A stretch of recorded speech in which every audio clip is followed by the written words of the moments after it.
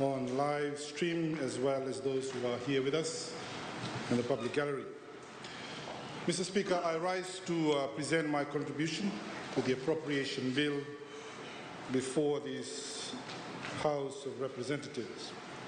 Firstly, I'd like to congratulate the Deputy Prime Minister and Minister for Finance, Strategic Planning, National Development and Statistics for delivering a coordinated, well-planned and inclusive 2023-2024 budget to support the economic recovery and contributing to rebuilding our future together. Mr. Speaker, I would like to acknowledge the uh, Deputy Prime Minister's team uh, at the Ministry of Finance for a careful, transparent, very consultative and effective approach in uh, managing the public purse since the coalition government took over on the 24th of December 2022. The budget now before the House is more realistic, it is prudent and deserving of all of our support in rebuilding our island home of Fiji together on the foundation of unity, bipartisanship, and mutual collaboration. On the outset of this budget debate, Mr. Speaker, I wish to acknowledge the support as well as the guidance of all of those who have made it possible for me to continue to discharge my responsibility as the Minister responsible for lands and mineral resources for the past six months. Permanent Secretary, Deputy Secretary, Directors, Managers, and all the staff we put together our request to the Ministry of Finance and my Parliament team, who I'm sure are locked onto the screen. Thank you for a job well done. Mr. Speaker, this will be the first of many budgets that will be presented to the House by the coalition government, and I say of many budgets in the future. There will be many to follow in years to come. In other words, Mr. Speaker, the People's Coalition government is here to stay for a very long time. It is here to stay for a number of reasons. We're here to correct the historical, woeful economic policies that we have inherited from the Fiji First government for the past eight years and eight years before that in its interim military government form. We are also here to correct the short-sighted and ineffective fiscal and monetary policies that has led the country to a humongous national debt level that now needs to be paid. We are paying off $1 billion of Fiji First government debt, even in our first year in office. Mr. Speaker, the opposition appears to have very short memory, alleging that we are responsible for raising the debt level to beyond $10 billion. What they don't appear to accept is that they were responsible for the increase of that national debt from around $2.8 billion in 2006 to approximately more than $9 billion in 2022. Mr. Speaker, the height, the height of blankness to all of a sudden allege the coalition government of high deficit in its first ever budget of over 600 million when they have lived on high borrowing and high deficits in all these years between 2007 and 2022. Someone said on social media, when the honorable leader of opposition labeled us on Monday as um, drunkards, spending like drunkards in the nightclub, you recited him. He said, well, if that was true of us now, they were spending like druggies, and might I add, in open daylight, Mr. Speaker.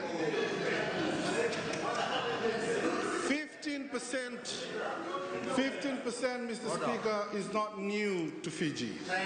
Certainly, it isn't new to Fiji First Party. They introduced it. It was their legacy, Mr. Speaker, between 2011 to 2015. 15% VAT. Why? Why?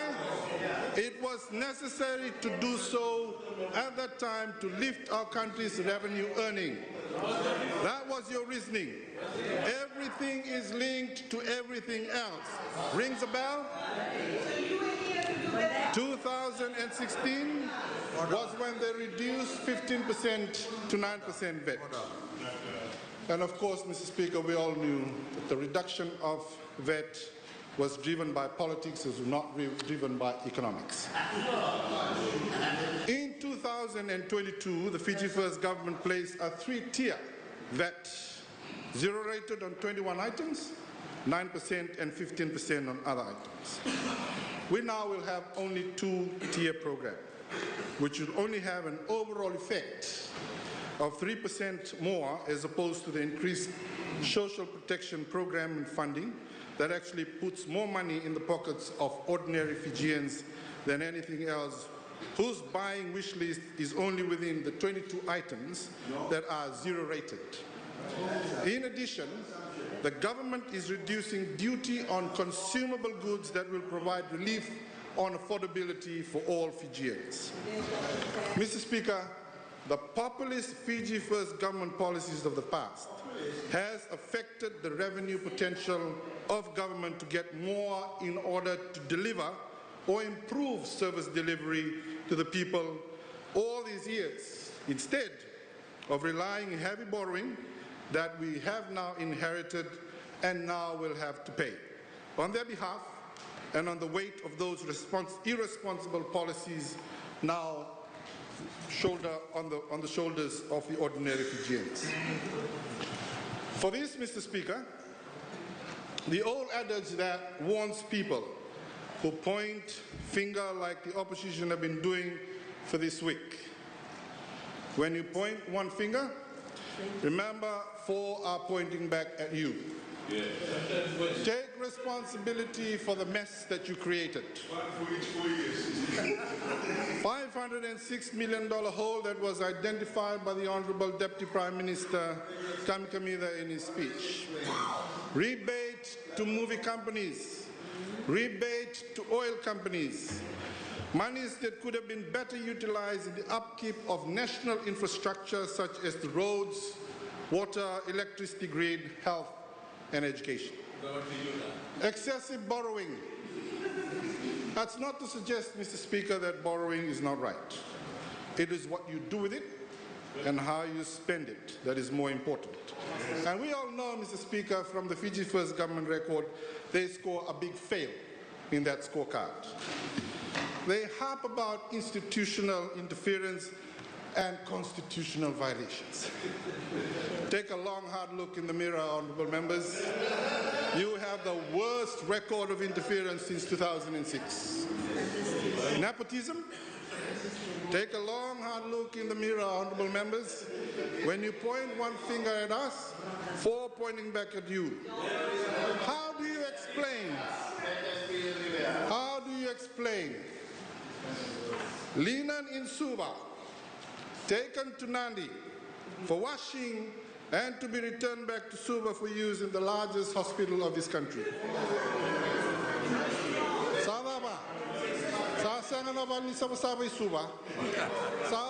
Boom detergent.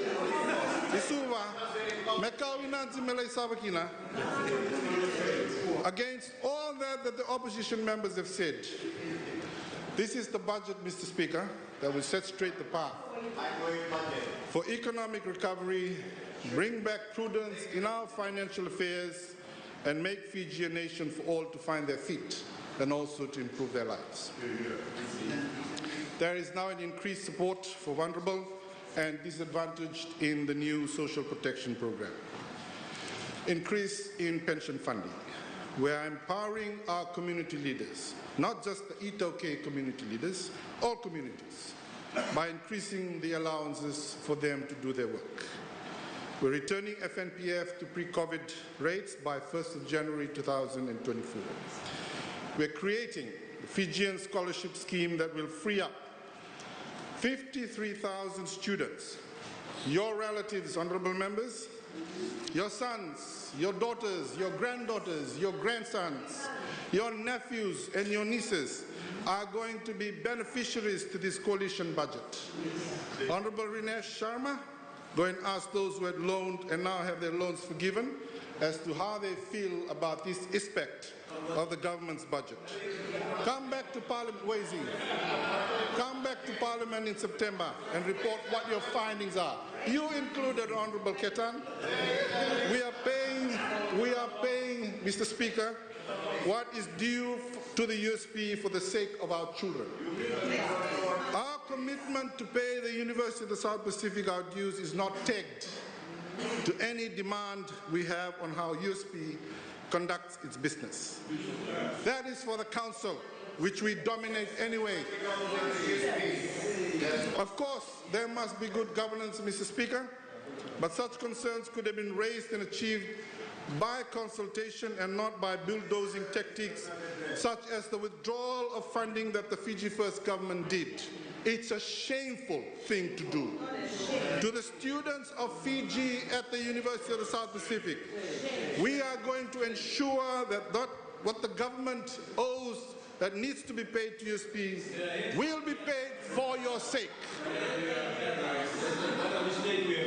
To the people of Vanua Levu. The people of Vanua Levu. A 200 million 10-year plan to support an integrated, resilient and sustainable tourism development. It would look in the beginning at feasibility and infrastructure to support the development program, sustainability, assessment on roads, power grid and connectivity to complement the program in the later part of the stages of development. And so to the colleagues of mine from Vanua Levu on both sides of the House, this is the answer to our Look North cry for all of these years. Regrettably, Mr. Speaker, I note the Honorable Mbulitabu, my Savusavu colleague, the Honorable Ketan Lal, Honorable Tunadeva, an adopted son of Sabu, and of course the leader of our opposition. They have rejected this budget, Mr. Speaker. I've saved the Honorable Neville Rua because he's chosen Naita City for his home for now. But I ask the honorable members, we still have your vote to count. And so please remember your voters from Vanua Levu. Vote for this budget and vote for your voters' interest. Mr. Speaker, the Ministry of Lands and Mineral Resources has been allocated a total budget of $30.1 million. This is an increase of 6.9 million from the last financial year. So in moving forward, Mr. Speaker, the ministry will be pragmatic in its approach, delivering, finding new solutions to existing challenges faced by the ministry. With the allocated budget, the ministry will continue to ensure that we strike the right balance between the fulfillment of our role and function, support and encouragement, and encourage economic activities while ensuring that our environment and resources is sustainably protected and managed. Mr. Speaker, on the area of ease of doing business, to sustainable support the development and growth of the agricultural sector and agro-processing, the Ministry will continue to speed up the process of land accessibility. We have reviewed our processes with much focus on land accessibility, Mr. Speaker. This, of course, you would note, is evident in the, in the launch of the State Land Online Application Portal, which is transparent, efficient, and accessible to all. Lessees can now apply for state land leases without leaving the comfort of their homes, their businesses or farms, and is readily available through the ministry's website. Ministry will also revamp another online portal in the coming months, which is the online consent application. State lessees will be able to apply for consent through the MyLease Info portal. This will enable lessees to track status of their application online and at the same time reduce turnaround time in processing application for consent in all of their land dealings. The door of creativity and innovativeness is what the ministry has been revamping on to improve and pursue to go digital in its processes, which I must commend. These new ministry online systems are not outsourced, Mr. Speaker, which would be costly exercise. This ministry online portal systems are developed by our own very innovative in-house developers. Mr. Speaker, therefore, with the budget provision, the ministry will pursue its commitment towards the digitization of lease records, efficient streamlining process of survey plan, examination and approval. Ministry will also enable chartered approved survey plans to be viewed online via Vanua View platform and scanned plans will be freely available on the Ministry of Lands website. Continuous free access to the Vanua View online and Fiji's land information system through the provision of $150,000 in this budget. Digitization and upgrading of Fiji's geological information with an with an, a provision of $120,000, Mr. Speaker, which is aimed at updating the, the geological maps uh, currently with the Mineral Resources Department. In the area of mining, Mr. Speaker, in order to sustainably develop Fiji's mineral potential, a provision of 1.02 million has been allocated, an increase of $128,000 from last year's budget. Mr. Speaker, this provision is to fund mining-related policies, provide validated information for our mining investors, monitoring of mining activities, and sustainably facilitating the exploration and development of the mineral and petroleum resources of the country. The mining division, Mr. Speaker, currently monitors seven mining leases, 35 exploration licenses, and 38 quarries. Mr. Speaker, in order to ensure sustainable extraction of sand and gravel and other stones from rivers, an allocation of 62,000 has now been given for the baseline survey of potential river aggregate sites. This item was asked many times during the Fiji First government in the past, but was turned down. With this budget, we will be able to get this baseline survey organized so we can track usage and stock against the baseline environmental concerns for rivers back retention across the country. With the government's commitment, Mr. Speaker, to providing access to clean water as a fundamental right of every Fijian, a total of $3.5 million has been allocated for groundwater assessment and development for large and smaller islands. This, Mr. Speaker, represents almost an addition of $1 million from the previous budget, and this will enable the ministry to do more for the red zone areas of our island home.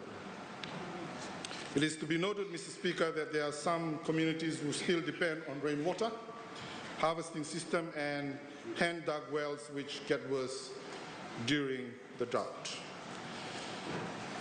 With the mineral exploration ge geological mapping, Mr. Speaker, uh, in this year's budget there is provision for the purchase of a vessel for mineral exploration and geological mapping within Fiji waters, including coastal assessments and surveys for vulnerable communities. Mr. Speaker, when it comes to revenue collection, I'm happy to report that the ministry, up to this month, has collected a revenue of $21.2 million, which is an increase of $2.3 million for the same period last year. With the provision of all the services provided by the ministry, we will continue in our effort in the collection of revenue and arrears through processes that are mandated by law. Effective from the 1st of August 2023, VAT will increase from 9% to 15%, and so we take this opportunity in this national address to encourage those who still owe leases to pay before or on the 31st of July of 2023. Mr. Speaker, to assist in the divers, uh, diversification of the economy and income generation for rural Fijians and commercial agriculture investment, we will continue to focus on maintaining as much good agricultural land as possible. There is also an allocation in that respect of 123,000 for the land use master plan. Disaster management and resilience, Mr. Speaker, we have an allocation of $12,000 that would allow us, Government of Fiji, to co-share with satellite LISA provider Intelsat, based in Washington, to monitor seismic activities and its operations so that we can update our NDMO operations here in Fiji. Mr. Speaker, uh, the allocation of $80,000 will also fund the initiative as the expert of knowledge and skill set which is significantly assisted or is of assistance to areas such as Tambawatu village in Macuata landslip, which resulted in cracks on the ground, houses, and affects the livelihood of uh, those in that area. Mr. Speaker, the Ministry will also continue its work in mon monitoring the sustainable use of our natural resources through foreshore development activities, tracking down of illegal land subdivision, monitoring sand and gravel extraction, groundwater extraction rates and use, illegal land dealings and forms of land use, exploration, quarrying and mining operation. Mr. Speaker, before I resume my seat, let us look at some real cooked up numbers of the past. Honorable Alvick Maharaj talked about that in his speech today. I mean, Mr. Speaker, the real cooked up numbers from 2015 to 2022. In summary, Mr. Speaker, from 2015 to 2022-2023 budget, the revised budget was $34 million, 662, sorry, $34 billion, 662 million, 841,621 dollars 41 cents. Over 34 billion. That was budgeted, revised by the Fiji First government from 2015 2022, 2023. How much did they spend? Which was the actual? 29 billion, 823 million, 378,206 cents. What was the variance? Mr. Speaker, $4 billion, 839 million, 463 404 $414.74. So to the people of Fiji, from 2015 to 2022 to 2023 budget, hear it in this parliament today. You got shortchanged by the Fiji First government by a whooping $4 billion 839 million, 463,414 dollars 74 cents by your own estimates. The Honorable Jone Usamate wanted a budget for the people of Fiji, a real budget from this budget. Well, they fell short. They fell short, Mr. Speaker, big time from 2015 to 2022, 2023 by a whooping close to $5 billion of what they budgeted for. They enticed the people of Fiji that they will spend, and yet they didn't come up to the mark because their revenue collection was up in the sky and speculative. They had pulled wool over our eyes for all these years about what they wanted to do, Mr. Speaker, and at the same breath, shortchanged the people of Fiji by close to $5 billion, $5 billion in their budget from 2015 to last year.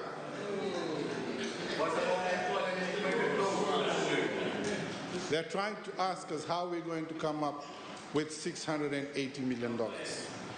People of Fiji are supposed to be asking you how you budgeted for your budget over these years and failed to deliver on $5 billion of what you budgeted for. to conclude, Mr. Speaker, I support the budget that was presented by the Honorable Deputy Prime Minister after a very long time, Mr. Speaker, in a timely manner in this House on the 30th of June 2023. Thank you very much, Mr. Speaker.